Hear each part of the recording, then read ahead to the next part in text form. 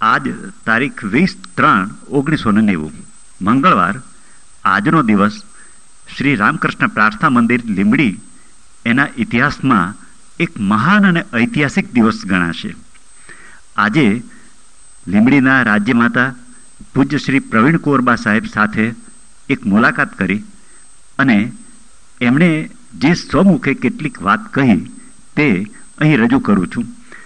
પૂજ્ય પ્રવીણ કોરબા વિશે હું જે કેટલીક વાત કહું છું, તે પહેલી અગત્યની છે અને એ ભૂમિકાની સાથે આપણે શરૂ કરીએ છીએ. રાજ્યમાતા શ્રી પૂજ્ય પ્રવીણ કુંવરબા લીંબડીના રાજમાતા. આટલું કહીએ તો પણ એ શબ્દ પાછળ રહેલી અપાર ગરિમા શીળું હૂંફાળું અને વાત્સલ્યથી ભરપૂર વ્યક્તિત્વ પ્રગટ થાય છે. એમના પરિચયમાં આવનાર તરત એમના મમત્વના પરિઘમાં સમાઈ જાય છે. લીમડી નરેશ, એમના વાલસોયા લાલજી ફક્ત અગિયાર માસના હતા અને પૂજ્ય રાજ્યમાતાએ પતિની છત્રછાયા ગુમાવી. ભારતીય ઇતિહાસમાં તે પછી ક્રાંતિનો સમય શરૂ થાય છે. સ્વતંત્રતા, દેશી રાજ્યોનું વિલીનીકરણ અને છેવટે સાલિયાણા નાબૂદી. આ બાહ્ય ઉથલપાથલ સાથે કૌટુંબિક ફેરફારો પણ થતા રહ્યા. આવા ઝંઝાવાત અને વખતો વખત આવતી માંદગી અને શારીરિક કષ્ટ છતાં આ બધામાં પોતાના મધુર વ્યક્તિત્વથી તેમણે હંમેશા સમાજ અને સમષ્ટિના કલ્યાણની ભદ્ર ભાવના પોષી છે. લીમડી લીમડીની પ્રજા અને અદના આદમીના કલ્યાણની કામના કરી છે. નિરંતર પ્રભુમય અને ભક્તિપૂર્ણ જીવન જીવતા તેમનું અંતર અત્યંત નિર્મળ, પારદર્શક રહ્યું છે. એટલું જ નહીં, ચોખ્ખા અરીસા જેવા તેમના ચિત્તતંત્ર પર જાણે સ્ફટિકની પેઠે, મહાન વિભૂતિઓના ચિત્રો, ચલચિત્રની પેઠે સ્પષ્ટ અને સુરેખ રીતે દેખાય છે. ઈશ્વર અવ્યક્ત છે, વાણીથી પર છે, પણ એ અવ્યક્ત તત્વ જ્યારે વાણી રૂપે વ્યક્ત થવા ઈચ્છે ત્યારે પૂજ્ય રાજ્યમાતા જેવાના નિર્મળ હૃદયના ઉદ્ગાર સ્વરૂપે પ્રગટ થાય છે. પૂજ્ય રાજ્યમાતાના આ ઉદ્ગારો સ્વયં ભજન ધારા રૂપે પ્રગટ થયેલ છે. શ્રી કૃષ્ણ કીર્તનમાળા ઈશ્વરની નાનાવિધ સ્વરૂપે થયેલી અભિવ્યક્તિ છે.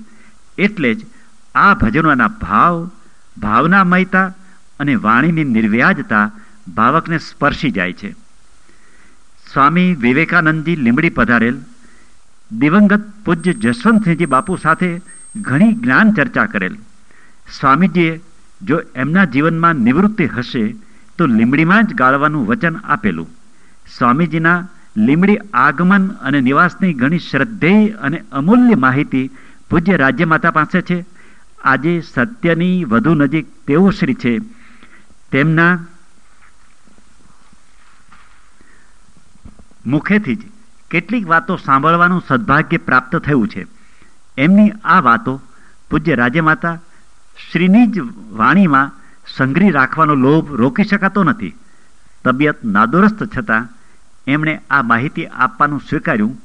હકીકતમાં ભાવિ ઇતિહાસકાર અને સંશોધન કરનાર માટે આ ઘણી કિંમતી સામગ્રી છે. વર્ષો જશે તેમ એની કિંમત વધુ ને વધુ સમજાશે. એમણે લીધેલ આ પરિશ્રમ માટે શ્રી રામકૃષ્ણ મિશન જ નહીં, પણ ધર્મમાં શ્રદ્ધા રાખનાર એક એક માનવી સદાય એમને અહોભાવ અને કૃતજ્ઞતાથી યાદ રાખશે. અસ્તુ.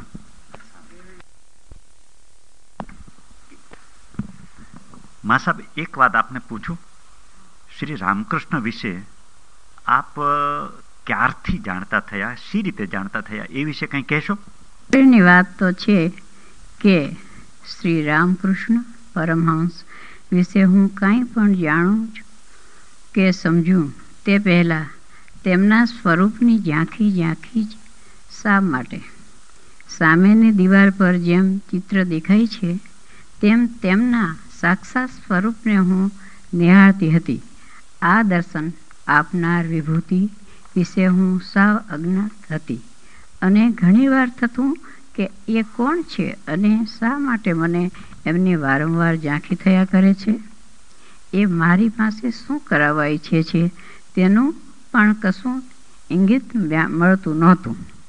ઈસવીસન ઓગણીસો ચોપનમાં આ વાત માઉન્ટ આબુમાં પૂજ્ય સ્વામી શ્રી શ્રદ્ધાનંદજીના સત્સંગ આશ્રમ આબુમાં. શ્રદ્ધાનંદજીના આશ્રમમાં જવાનું થયું, ત્યાં પેઇન્ટ કરેલું એક મોટું ચિત્ર જોયું ચિત્ર જોતાં જ મને ખૂબ આશ્ચર્ય થયું. મેં પૂજ્ય સ્વામીજીને પૂછ્યું,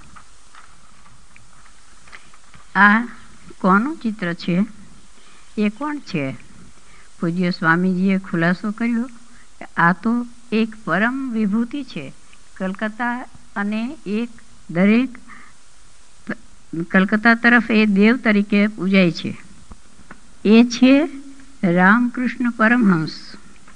મેં સહજ ભાવે કહ્યું, મને ઘણીવાર એમના દર્શન થાય છે. એ વિભૂતિ કોણ છે તે હું જાણતી નથી. શા માટે મને દર્શન થયા કરે છે તેની પણ મને ખબર નથી. આ પરથી પૂજ્ય સ્વામીજીએ શ્રી રામકૃષ્ણ પરમહંસ વિશે ઘણી સરસ વાતો કરી.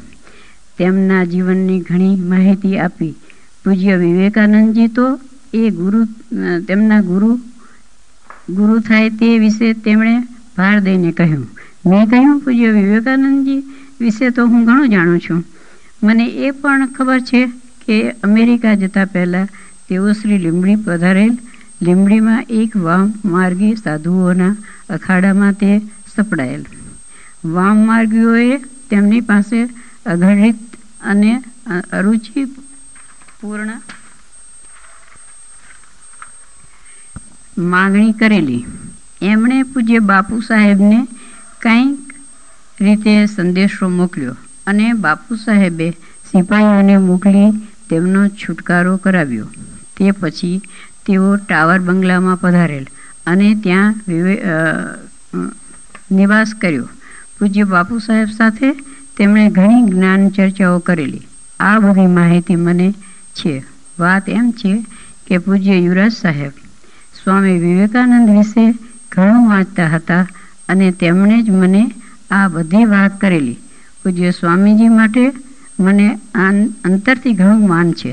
તે પછી યુવરાજ સાહેબ દેવ થઈ જતા માહિતીની મારી પાસે સ્ત્રોત કંઈ જ પૂરો થઈ ગયો. સ્ત્રોત પૂરો થઈ ગયો. મા સાહેબ, આપે જે માહિતી આપી, એ તો ઘણી સુંદર માહિતી છે. વિવેકાનંદજી વિશે આપ ક્યારથી અને શી રીતે જાણો છો એ વિશે કંઈ કહેશો? ઈસવીસન ઓગણીસો તેતાલીસની વાત છે. આબુમાં સ્વામી વિવેકાનંદનું એક પુસ્તક વાંચેલું. એ વખતે લાલજી સાહેબ, લાલજી ત્રણ વર્ષના હતા. આ અવસ્થામાં મને માનસિક એકતા અને વ્યગ્રતા ખૂબ રહેતા. આ પરિસ્થિતિમાં સ્વામીજીનું પુસ્તક વાંચવાથી ખરેખર હું તો મને ઘણું આંતરિક શક્તિ પ્રાપ્ત થઈ. મારામાં હિંમત આવી અને જીવનમાં ટકી રહેવાની મને શ્રદ્ધા મળે. શ્રી ઠાકોર, શ્રી રામકૃષ્ણદેવ ના મને આબુમાં ઘણીવાર દર્શન થતા. વધારે એક માય ચોક ચોકસાઈથી કહું તો ઈસવીસન ઓગણચોક ઓગણીસો ચોપનના જુલાઈથી અવારનવાર દર્શન થતા રહેતા. દર્શનના સમય વિશે પણ મેં એક વિશેષતા જોઈ છે. અવારનવાર જે દર્શન થતા એ દર્શન ક્યારે થતા અને દર્શનમાં શું થતું એના વિશે કંઈ કહેશો? રોજ બપોરે ભોજન પછી સહજ વાંકુક્ષી નીકળતા આમ તો સંપૂર્ણ જાગ્રત અવસ્થામાં સિનેમાના પડદા પર જેમ ચિત્ર સ્પષ્ટ દેખાય છે એવી જ સ્પષ્ટતાથી મને દર્શન થતા. સામેની દિવાલ પર જાણે પડદો છે અને એના પર સ્પષ્ટ રીતે અંકિત થતું ચિત્ર હું જોઈ શકતી. એ ચિત્ર જ નહીં, પણ હકીકત ફરતી એવી જીવંત આકૃતિ હતી. આ દ્રશ્ય ફક્ત એકાદ મિનિટ દેખાતું. હું કાંઈ કહી શકું નહીં. અને કંઈ કહેવા જતાં હૃદય અલોપ થઈ જાય. જાણે દ્રશ્ય અલોપ થઈ જાય. જતું. જમ્યા પછી જમ્યા પછી બપોરે ત્રણ, સાડા ત્રણના અરસામાં આ ઘણું ખરું બનતું.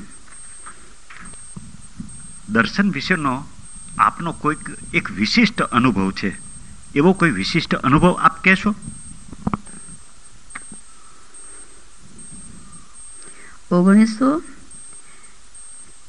સાલની આ વાત છે અને સખત મને સખત તાવ આવતો હતો. ચાર પાંચ ડિગ્રી તાવ સતત રહેતો અને નોર્મલ થતો જ નહીં. ડૉક્ટરે મેનિન્જાઇટિસ કહ્યું, ગમે તેટલી દવા કરાવવા છતાં જાણે કશો કાંઈ ફેર પડતો નહીં. આવા પ્રસંગે જીવન પરથી થોડીક શ્રદ્ધા ઘા ડગી જાય છે. વિચારો પણ બહુ સરખા આવતા નથી. માનસિક રીતે આ ખૂબ વ્યગ્રતાનો સમય હતો. પરિસ્થિતિમાં એક દિવસ મધ્યાહ્ને હું આમ જ સૂતી હતી અને એ વખતે મારી નજર સામે જ અત્યંત સ્પષ્ટ રીતે જોઈ શકું તેમ શ્રી રામકૃષ્ણ પરમહંસ મને દર્શનના દર્શન થયા અને દર્શનની એકાએક રેખા પણ આજે મારી ચિત્ત સમક્ષ પ્રગટ છે. સાવ સ્પષ્ટ છે અને કેવા દર્શન. તેમના ચહેરા પર અપાર શાંતિ હતી. એમની નિર્વિકાર લાગતી આંખોમાંથી ટપ ટપ ટપ. અશ્રુબિંદુ ખરી રહ્યા હતા. હું સ્તબ્ધ બની ગઈ. અરે, દેવ, આપની આંખમાં આંસુ કેમ? શ્રી રામકૃષ્ણ દેવ કશું બોલ્યા નહીં.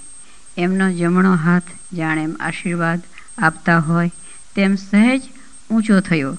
એક પણ શબ્દ નહીં અને ધીરે ધીરે આ ચિત્ર દ્રશ્ય થયું. માંદગી દરમિયાન ઘણી અકળામણ, ભોગવેલી ઘણા ઘા સહન કર્યા, પણ આ દર્શન પછી મને ક્રમશઃ સ્વસ્થતા પ્રાપ્ત થઈ ગઈ. આબુમાં મારા ગુરુજીને મેં આ દર્શનની વાત કરી. એમણે એનું અર્થઘટન કરતાં કહ્યું આ દર્શન એમ સૂચવે છે કે ઈશ્વર તમારી પાસે કંઈક સારું કામ કરાવવા ઈચ્છે છે અને એ કરાવશે જ. આ કામ સી રીતે થાય છે અને એ કરવાના ઈશ્વર કેવા અટપટા રસ્તા લે છે તેની કેટલીક વાત રસ રસયદ રસયુક્ત છે. આ વાત ઈસવીસન ઓગણીસો સડસઠની છે. માર્ચ મહિનાની સત્યાવીસ કે અઠ્યાવીસ તારીખ હતી.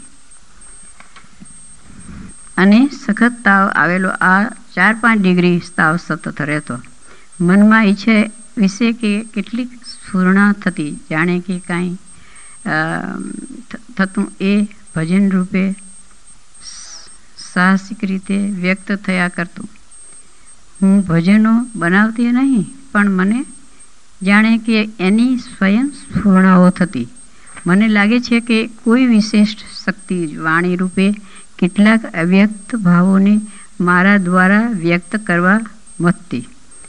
ભાઈ લાભશંકર ઈશ્વરલાલ જોશી, મારા ભજનો લખી લેતા, એને વ્યવસ્થિત સ્વરૂપે ઉતારી લેતા. ભજન ઉતારતા તેમને સહજ લાગ્યું કે મને તાવ છે, તાવ સખત હતો અને અણઉતાર રહેતો. એ વખતે જાણે દેહનો ભરોસો પણ ઓછો થવા લાગેલો. બહુ તો કશું નહીં, પણ એક ભય સતત રહ્યા કરે, કરતો. શું આ ભજનો અધૂરા રહી જશે? કેટલાક અગમ્ય ભાવોને ઈશ્વર વ્યક્ત કરવા ઈચ્છે છે તે શું આમ જ અવ્યક્ત રહી જશે? લાભશંકરે મને દિલાસો આપતા કહેતા. ઈશ્વર આપની પાસે જે પૂરું કરાવવા ઈચ્છે છે તે પૂરું કરાવશે જ. એની ગતિને કોઈ ઓળખી શકતું નથી. ઈશ્વર વાણીથી અવ્યક્ત પર છે, પણ જ્યારે એ વાણી દ્વારા પ્રગટ થવા ઈચ્છે છે, ત્યારે આપના જેવાના નિર્મળ ઉદ્ગાર રૂપે જ વ્યક્ત થાય. એણે જે ધાર્યું હશે, તે આપની પાસે પૂરું કરાવીને જ રહેશે. આ ટાવર બંગલા વિશે આપ કંઈ માહિતી આપશો? અને આપને પહેલું ક્યારે લાગ્યું કે શ્રી વિવેકાનંદ અહીં આવ્યા છે? ટાવર બંગલો એ ગામ વચ્ચેનો રાજમહેલ છે અને તે બંધ રહેતો. એમાં ઘણી કિંમતી સામગ્રી, ચાંદીનું સિંહાસન વગેરે એવું રહેતું રહેતું. પહેલાં કચેરી અહીં જ ભરાતી. એટલે એનો દરબાર હોલ ઘણો ભવ્ય છે. મહેલ બંધ હતો. એટલે તમામ કિંમતી વસ્તુઓ એમાં જ ભરી રાખી હતી. અહીંયા કમ્પાઉન્ડમાં જ અમારા કુળદેવી બિરાજે છે. કુળદેવીના દર્શન શક્તિના અને અમે વખતો વખત જતા અને આજે પણ જઈએ છીએ. તેમના દર્શન કરી પાછા ફરતાથી કરણસિંહ સ્ક્વેર, હાલના ગ્રીન ચોક તરીકે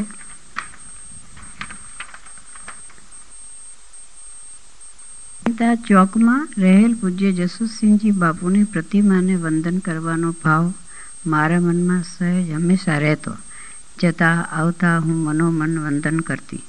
આવી જ રીતે પૂજ્ય બાપુને વંદન કરતા પહેલી જ વાર એકાએક મારું ધ્યાન સામે ગયું અને મેં સહજ રીતે વાંચ્યું, વિવેકાનંદ માર્કેટ. આ સાથે જ પૂજ્ય સ્વામીજીના લીમડીના પ્રસંગો સ્મરણો ચડી આવ્યા. એનું જ નામ વાંચતા જ મનમાં એકાએક વિલક્ષણ ધારણા થઈ ગઈ. ચાલો સ્વામીજી અહીં સુધી આવી પહોંચ્યા. હવે આ અરસામાં ટાવર બંગલાની શી સ્થિતિ હતી? એમાં કોઈ રહેતું હતું? કોઈ વસવાટ હતો? અરસામાં ટાવર બંગલાની શી સ્થિતિ હતી? આ મહેલ ખૂબ હોંશથી બંધાવેલ અસલનો દરબાર ગઢ આ જ એનો વિશાળ દરબાર હોલ. ખૂબ ભવ્ય છે. સ્વામી વિવેકાનંદ જ્યારે લીમડીમાં પધાર્યા, ત્યારે વામ માર્ગીઓને આ કામમાંથી છોડાવી તેમના ટાવર બંગલાની સ્થિતિ હતી? આ મહેલ ખૂબ હોંશથી બંધાવેલ. અસલનો દરબારગઢ આજ એનો વિશાળ દરબાર હોલ ખૂબ ભવ્ય છે. સ્વામી વિવેકાનંદ જ્યારે લીમડીમાં પધાર્યા, ત્યારે વામ માર્ગીઓના અટામાંથી છોડાવેલ તેમને અહીં જ નિવાસ આપેલો.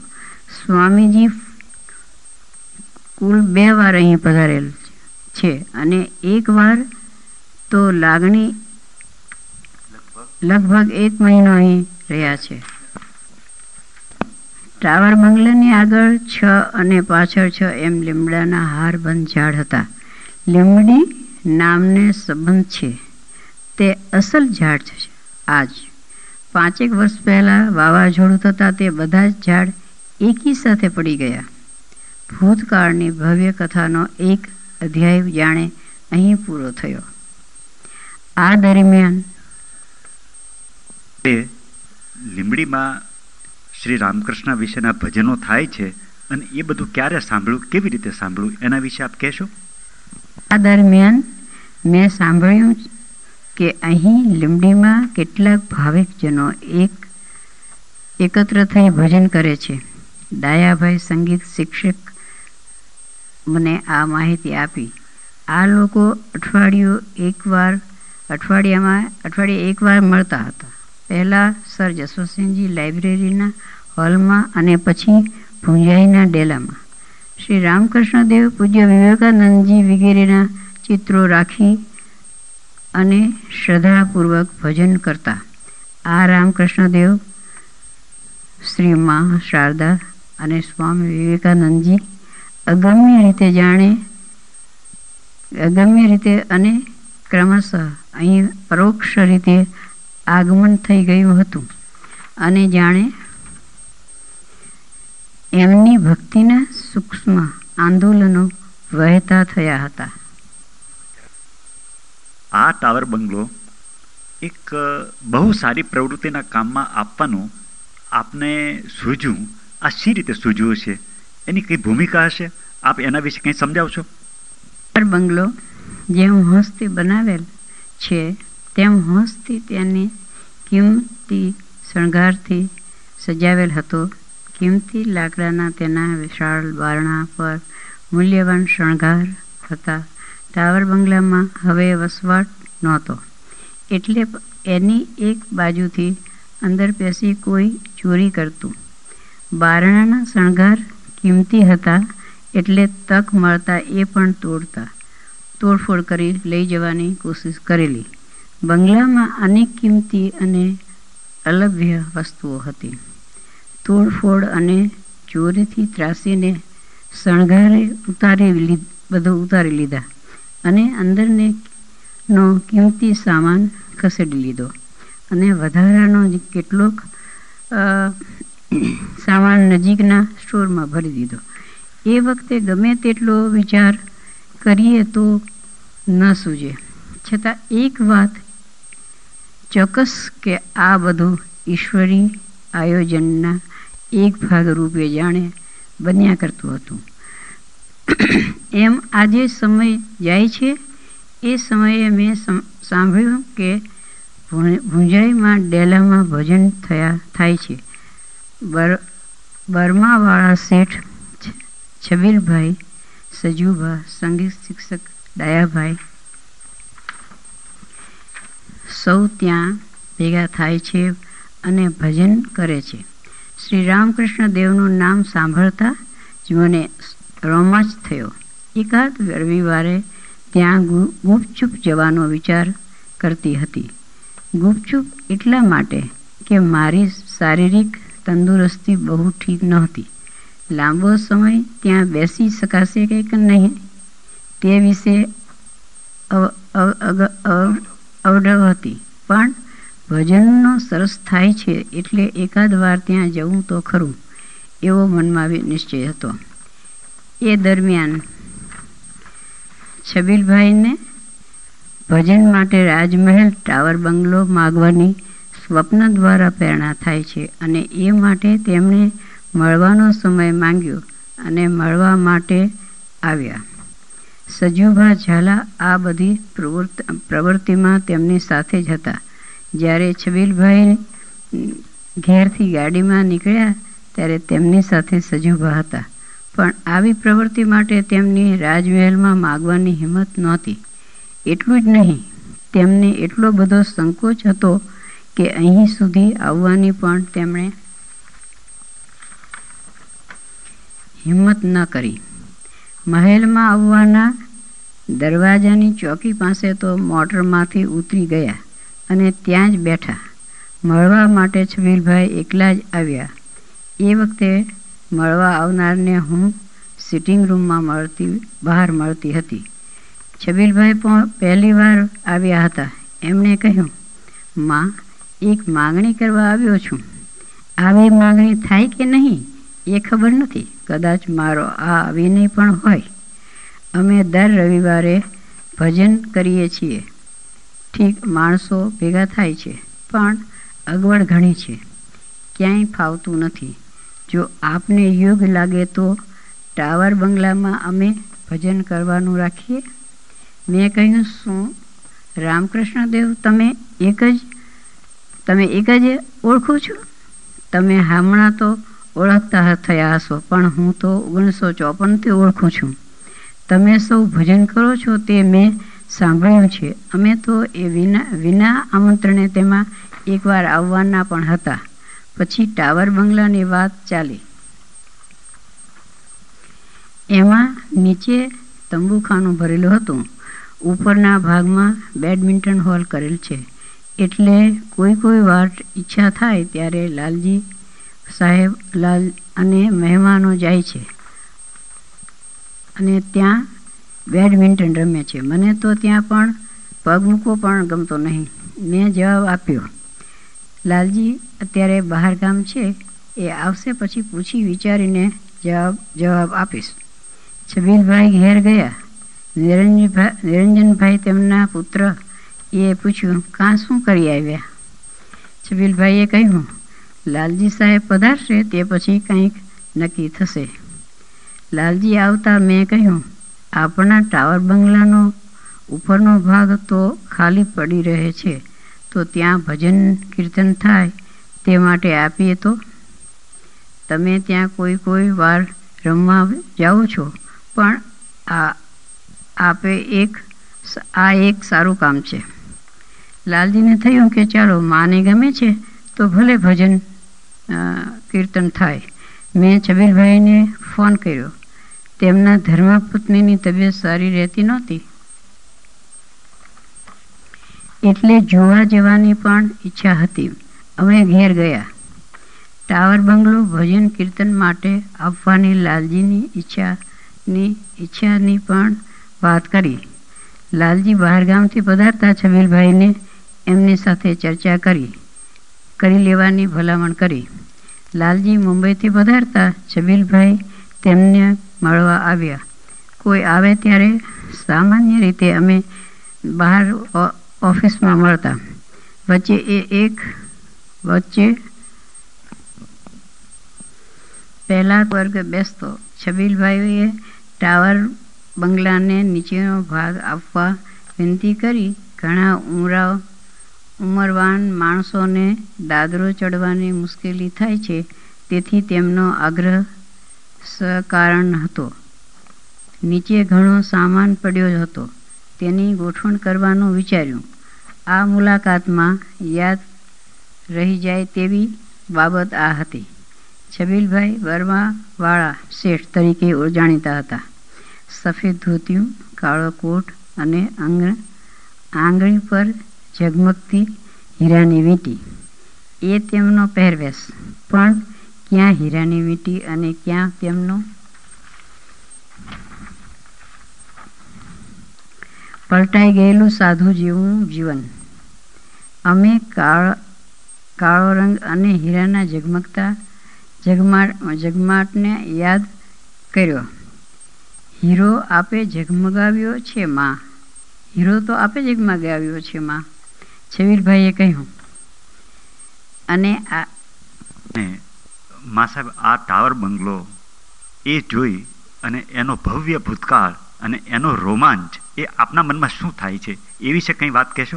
અને આ ટાવર બંગલો હવે રામકૃષ્ણ દેવ શ્રી માં શારદા અને સ્વામી વિવેકાનંદજીનું પ્રા- પ્રાર્થના સ્થાન બને છે. ઈસવીસન અઢારસો છન્નુંમાં મોટી આગ લાગી હતી. આ મહેલનો, આગળનો કેટલોય ભાગ બળી ગયો. અનેક કિંમતી વસ્તુઓ બળી ગઈ. આજના જેવી આજના જેવી આગ સામક. સુવિધ્યાનો અત્યારે ત્યારે ન હતી. પૂરા પંદર દિવસ સુધી આગ ધગધગતી રહી. અહીં જ અમારા કુળદેવીનું સ્થાન હતું. હનુમાનજીની દેરી અને આગળ પીરની દરગાહ છે. પંદર પંદર દિવસની સુધી ચાલુ રહેલી આગ પીરની દરગાહ પાસે અટકી ગઈ. આ મહેલ સર્વધર્મ સન્મન સન સમ સમ સમન્વયનું સ્થાન છે.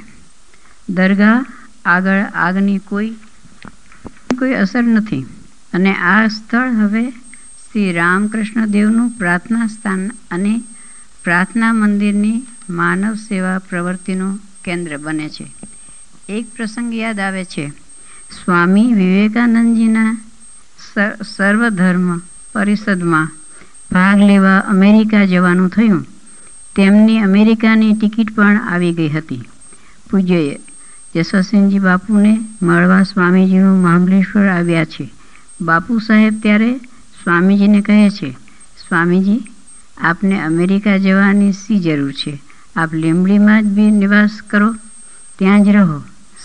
સ્વામીજી કહે, હું નિવૃત્ત થઈશ ત્યારે આપની સાથે જ રહીશ. આ તો સ્વામીજીના મૂળ શબ્દો આ પ્રમાણે છે. But if I ever I leave the life of retirement it shall be with you જીના જીવનમાં એ નિવૃત્તિ કદી આવી જ નહીં. પણ લીમડીમાં પધારવાનું તેમણે વચન આપેલું તે પાળી બતાવ્યું. એ અહીં પધાર્યા. પણ એકલા નહીં. ગુરુ અને શ્રી માને સાથે જ લઈને પધાર્યા. મહાન વિભૂતિએ આપેલ વચન કદી નિષ્ફળ જતા નથી. આ હા. ટાવર બંગલામાં વારંવાર ચોરી થતી તેનો ભેદ પણ હવે કળાયો. બંગલામાં ચોરી થતી હતી એટલે બંગલો ખાલી કર્યો. કારણ કે શ્રી ઠાકુર, શ્રી મા અને શ્રી સ્વામીજીને અહીં પધારવું હતું. એમને આ ભૂમિકા તૈયાર કરી એમનું આગમન થયું. આ મૂર્તિનું આગમન અહીં કેવી રીતે થયું? કેવી રીતે પધરાવી? એ વિશે આપ જે આંખે દેખ્યું વસ્તુ છે એ આપણે એના વિશે કહેશો? મૂર્તિ પધાર મેં આ પધરાવી એ વિશે ત્યાં રાજકોટમાં મંદિર બન્યું અને આ મૂર્તિ ઘણા વર્ષોથી ત્યાં જ હતી. હવે તેના માટે ઘણા સેવકો કહેતા કે અમને આપો. બધા ઘણાએ કહેલું. પરંતુ સ્વામીજીએ કે મોટાએ કહ્યું કે ના, એ મૂર્તિ તો લીમડી જશે પછી લીમડી આવવાની તૈયારીઓ અમે કરી રહ્યા હતા. અને મૂર્તિના માટે બધી તૈયારીઓ થતી હતી, પણ મૂર્તિ મળી આવવાની હતી. એના બદલે મૂર્તિ વહેલી આવી ગઈ. વહેલી આવી ગઈ એટલે છબીલભાઈએ મને કહ્યું કે, માં, આ કોઈ આવ્યા નહીં, હજી તૈયારી તો કાંઈ થઈ નથી. માટે મૂર્તિને મોટરમાં તો ન જ રાખી શકાય. હવે આપ જઈને એને મૂર્તિને વંદન કરી, હાર પહેરાવી અને આપ જ પધરાવો. એમને આપના હાથેથી જ બધું કરાવવું છે. માટે આપ જ જાઓ. એટલે પછી હું નીચે જઈ અને પોતાને હાર પહેરાવી, ચાંદલો કરી, વધાવી અને દર્શન કરી અને મૂર્તિને ઉપર પધરાવી. આ પ્રસંગે પૂજ્ય હિરણ્યાનંદી મહારાજને જે અનુભવ થયો હતો અને એ અનુભવની વાત આપની પાસે કઈ હતી એ વિશે કંઈ કહેશો? મહારાજને તો જ્યારે પહેલી જ વાર અહીંયા જ્યારે સ્થાપના થઈ ત્યારે મુંબઈથી પધારેલ મહારાજ અને સ્વામીજીને બધા સાથે હતા અને એમને બાપુરા સાહેબના દર્શન થયેલા. એટલે સ્વામી સ્વામીજીએ બોમ્બેવાળાએ કીધું કે મારે અહીંયા આવવાનું તો સફળ બની ગયું. અને મને જે મળવાનું હતું એ તે મળી લીધું અને મને દર્શન પણ થઈ ગયા. આ પ્રસંગ બાપુ સાહેબનો જે પ્રસંગ છે, એ તો ખરેખર બહુ સુંદર પ્રસંગ છે. અને બાપુ સાહેબનું જ આની સાથે જે રીતે નામ સંકળાયેલું છે, એમના દિવ્ય આત્માને એનાથી કેટલો આનંદ થયો હશે? અને આ મૂર્તિનું સ્વાગત આપના હાથથી થાય. એની પધરામણીમાં, પ્રસંગમાં સૌ પ્રથમ આપ જ એની વધામણી આપો. આ કેટલો સુંદર પ્રસંગ છે. આ વિશે આપના કંઈ બીજા પ્રતિભાવ હોય તો કહેશો? ઉપર પધરાવી ત્યારબાદ ઘણા દિવસ પછી એનું પૂજન ને બધી વિધિને બધું થવાનું હતું. અને પછી સ્વામીજીઓને બધા અહીંયા પધારેલા. અને બહુ ધામધૂમથી મૂર્તિને પધરાવી અને પૂજા અને બધું ઘણું સારી રીતે થયું. ત્યારે બહુ સુંદર રીતે મને તેઓના દર્શન થયેલા. અને દર્શનનું તો હું કંઈ જ કહી શકું એમ નથી. અને મને કોઈ અનેરો જ આનંદ હતો તે દિવસે. એ તો ઠાકોર અને હું જાણીશ બીજું કોઈ જ જાણી નથી શકતું. અને એ બધું જ આ જસવંતસિંહજી જ કરી રહ્યા છે એમ હું માનું છું. બસ બીજું વધારે મારે કંઈ જ નથી કહેવાનું. એ બધું ઠાકોર જ જાણે છે. આ પ્રસંગે આપે એક સુંદર ભજન બનાવ્યું છે. આટલી સરળ વાણીમાં એની અભિવ્યક્તિ જે સીધી હૃદય સોંસરવી ઉતરી જાય એમ છે. એ ભજન, એના શબ્દો એ આપના જ મુખેથી સાંભળવા એ સદભાગ્ય છે. આપ એ કહેશો? એ વખતે મને કોઈ અનેરો જ આનંદ હતો. તે તો હું કંઈ કહી શકું તેમ નથી. પણ ભજન દ્વારા થોડું ગાય ગાઉં છું. ઠાકુર દ્વાર હમારે ઠાકુર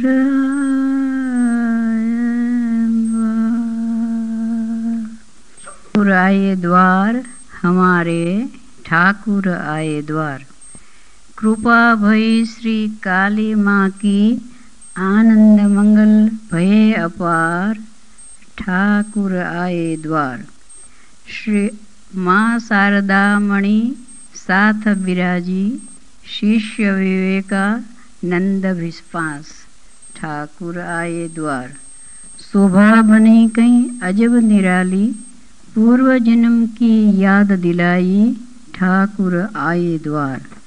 गुरु शिष्य के नाते बढ़ाए दर्शन मेरे साकार बनाए ठाकुर आए द्वार गदगद कंठ से बाला गाती गुरु राम कृष्ण के गुण गाती ઠાકુર આયે દ્વાર હમારે ઠાકુર આયે દ્વાર આજે આપને ખૂબ તકલીફ આપી અને એમ તો ધારતું લાગતું હતું કે કદાચ આટલું લાંબુ કે કંઈ વાતચીત કરવી છે કેમ થશે પણ આપે ખૂબ સરસ વાત કરી અને આપના શબ્દમાં આ વાત થઈ, એ વાત સાંભળવાની સંગ્રહ રાખવાનો મોકો મળ્યો.